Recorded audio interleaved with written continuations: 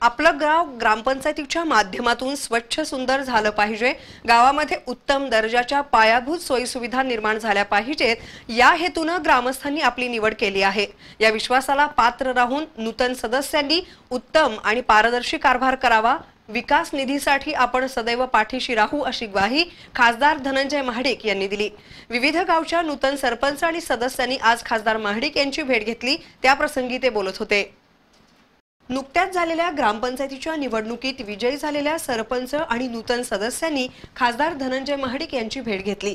करवीर तालुक्यातील नंदवाळच्या नूतन सरपंच राजश्री पाटील सदस्या सुमन पाटील हरी खतकर विठ्ठल कांबळे दत्तात्रय कांबळे बाळकृष्ण अंबिल ढोके अरविंद येजरे नामदेव अस्वले भाऊ अंबिल ढोके बाळकृष्ण कुणकेकर बळीराम शिंदे यांनी खासदार महाडिक यांची भेट घेऊन त्यांच्याशी संवाद साधला.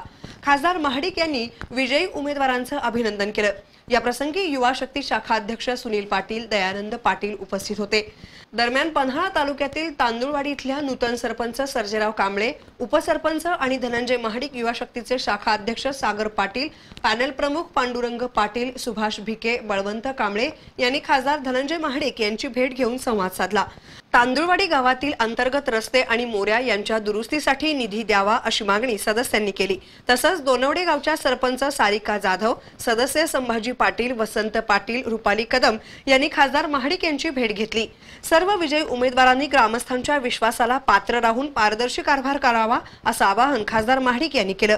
याप्रसंगी सुनील कदम संदीप कदम बाजीराव पाटील संजय पाटील अजित फराकटे सतेज पाटील अमित कळके सुशील शिंदे उमेश पोहाळकर बाजीराव जाधव उपस्थित होते.